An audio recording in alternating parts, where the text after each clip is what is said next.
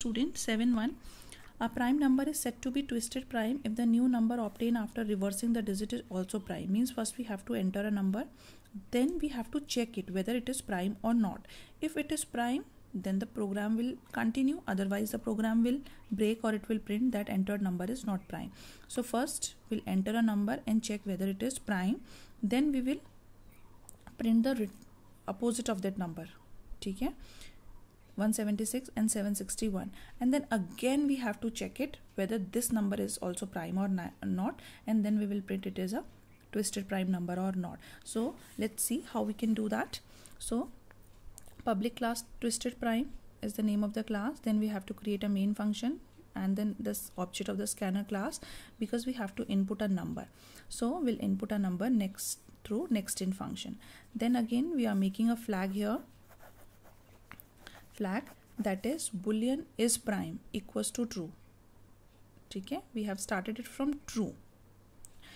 For integer i equals to 2 you know how to find out a prime of a number?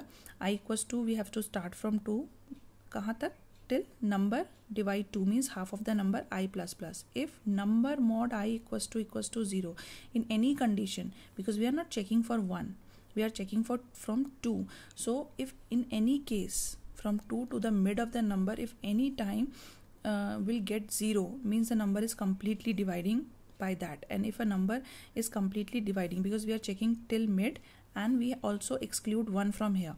So if um, by excluding 1 and the last number means the number itself if the number is divided by any other number it means it cannot be prime. So is prime whatever the flag we have set equals to false and then there is no need to check it further.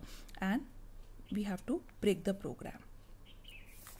Now outside the loop we'll check if is prime. Is prime means if the number is is prime means the flag is true. Just i told you na if is pronic is pronic means that condition the flag is still true. So means if the flag is still true then we have to continue. If the flag is false then means the number is not prime. They don't need to check it further. So we'll check whether the num if is prime is true then we'll take an integer t temporary where we'll store number original number. Original number suppose we have is 761 okay? Suppose 761 we have the original number. Okay? Then reverse number will take a variable in which for now we'll store 0 will continue till t. Now t is holding the original number 761 equals to 0 int digit equals to. What we have to do the same that we have done in the last question we have to take one num take out one number from the end. So this is the logic for taking out one one digit. Digit equals to t mod 10 mod kar lenge that is it will give the reminder. Reminder is 1 now number equals to t equals to t divide 10 now 76 is the number. So 1 will store it in reverse number. Reverse number equals to reverse number in which now we have 0 0 into 10 plus digit. So 0 into 10 that is 0 plus digit. That is 1 we have in reverse number. Okay we'll writing write it here. Reverse number equals to 1 again the loop will increment now 76 is not equals to t so counter will go inside the loop. Now digit equals to t mod 10 now we have 6 in the digit okay?